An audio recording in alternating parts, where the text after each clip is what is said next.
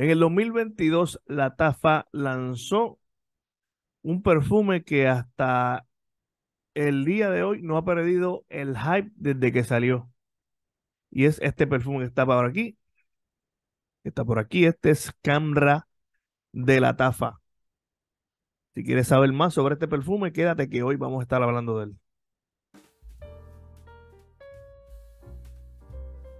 Bueno, y mis amigos, gracias a todos ustedes por pasar por aquí por el canal y eh, dedicar un ratito a ver estos videos. Hoy no voy a hacer mucha introducción, voy a ir tajante, directo al grano, porque esto es un perfume que ha tenido un hype exorbitante, un perfume que ha sido reseñado por un montón de personas, por un montón de reseñadores, pero yo sinceramente la persona a la cual eh, más como que me impresionó la primera vez que lo escuché eh, fue nuestro amigo reseñador eh, Perfuadictos.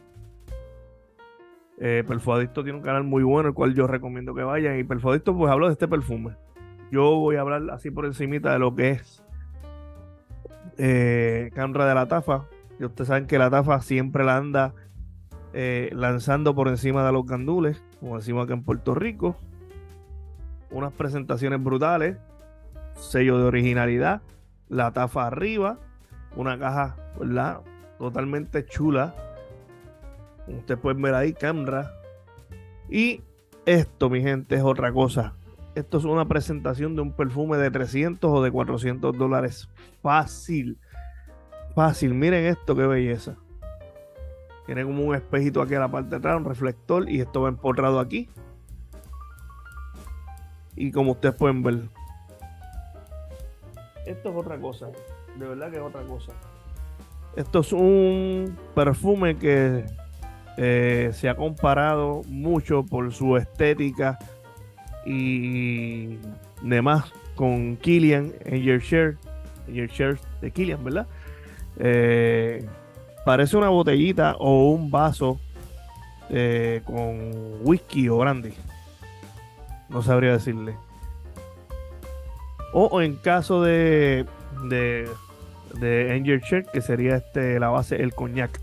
Bien, yo quiero hablar acerca de esto porque cuando yo escuché a nuestro amigo este perfuadicto, este perfume dijo que este es un perfume que era otra cosa, que esto era una chulería.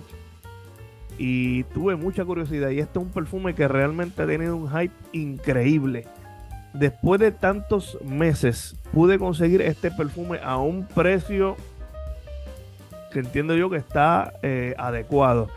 Lo compré aproximadamente unos 45 dólares, pero este perfume se disparó casi a 100 dólares. Por lo que ha tenido un hype eh, bastante fuerte. Vamos a ver las notas de este perfume, porque vamos a ver las notas, ¿verdad? Primero, eh, de la página oficial de la TAFA y luego voy a hablarle acerca de mi experiencia con el perfume que lo he estado probando durante todos estos días.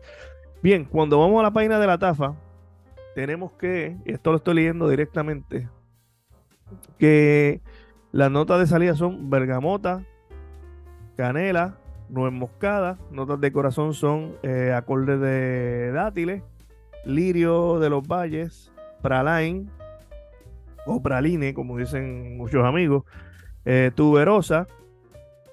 Eh, notas bases son eh, tonca, o sea, abatonca, pero rostizada.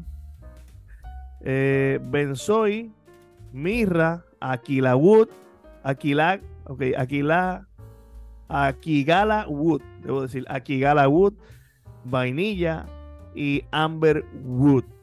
Bien, ¿Qué nosotros tenemos aquí?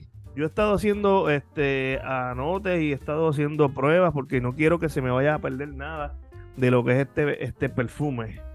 Mi gente, este Camra, eh, yo escuché mucho sobre él, mis reseñas, y yo dije, yo tengo que hacer mi propia reseña, yo tengo que hacer mis propias pruebas porque un perfume no puede ser tan bueno como lo están eh, anunciando. O sea, algo malo tiene que tener, porque a veces, muchas veces se le da un hype exagerado a estos perfumes.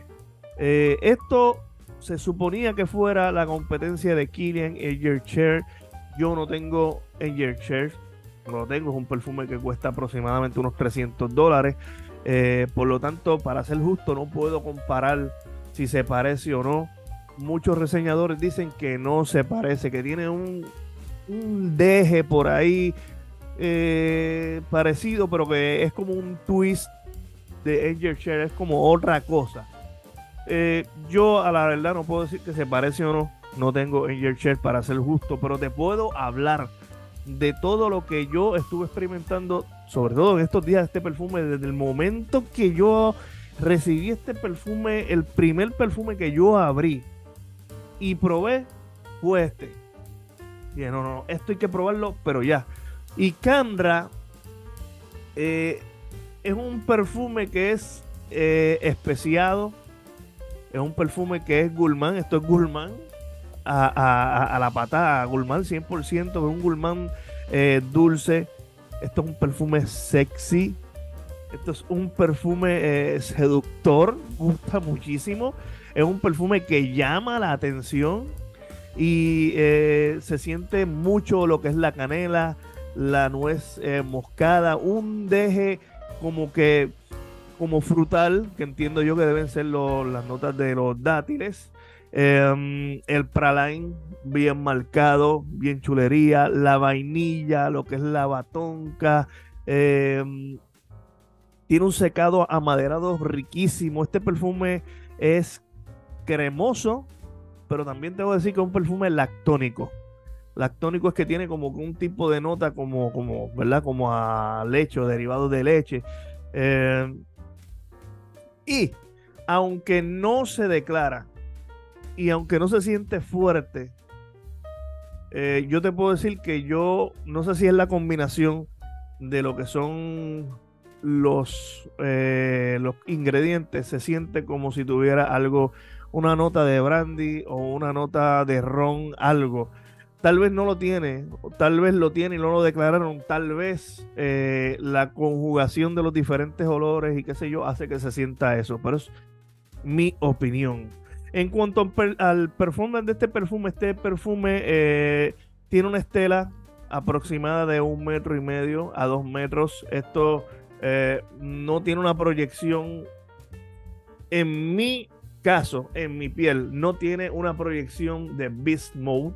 Hay personas que han dicho que esto es casi un beast mode, que se queda con el canto. Mm, en mi opinión y en mis pruebas, yo lo probé en mí, lo probé en mi esposa, que lo di a probar a diferentes personas, eh, pues no, no tiene una estela beast mode, tiene una estela que sí se da sentir eh, aproximadamente esa hora, hora y media, y luego se hace como una burbuja, pero no te pienses por nada que esto se desaparece de la piel así, porque sí, porque esto tiene una duración básicamente de unas 8 a 10 horas. Dura muchísimo. Se pega muy bien a la piel. Y si te lo echas en ropa, olvídate que la ropa eh, tomó el olor de Camra. Dura muchísimo. Es una realidad. Eh, ¿Qué pasa? Que esa estela se convierte luego en una burbuja y te va durando esa burbuja que se siente fuerte, una burbuja recogida, pero se siente fuerte, no es una burbuja que ya pasa rápido a ras de piel, se siente fuerte y va a durarte como hasta la sexta hora más o menos, tal vez un pelín más, seis, horas, seis horas y media, y ya luego pasa un olor de piel hasta la décima hora. Pero no te creas que cuando digo olor de piel es que no sé si no, es que es un olor de piel que va a estar pegado a piel, pero va a estar fuerte. Se siente muy bien y es un olor que gusta muchísimo. Esto, eh, esto no han dicho que huele a, a, Navidad. Esto han dicho que es un perfume que huele como un dulcecito navideño. Y sí, sí, es verdad. Esto tal vez a algunas personas le puede oler algo parecido a un, a un ponche navideño por, por los la ¿cómo le digo? por el realismo que tiene en, en cuanto al olor de las notas eh, es riquísimo a mí en lo personal a mí me huele a algo no tanto como un ponche de navidad pero ya algunas personas tal vez hayan tenido la oportunidad de probar un trago que se le conoce como orgasmo. Es un trago que es dulce, que lleva como canela y un sinnúmero de cosas, y a mí me, me evocó ese olor a ese trago. Bien, ¿vale la pena comprar este perfume? Sí. ¿Vale la pena el hype de este perfume? Verdaderamente sí. Este es un perfume que donde tú llegues te van a identificar a las millas. Eh, algo sí, el mucho frío, aunque pudiera parecer que es para un perfume, para un perfume para época de mucho frío, el mucho frío lo mata, en mi experiencia. El calor muy fuerte hace que te sientas agobiado con este perfume.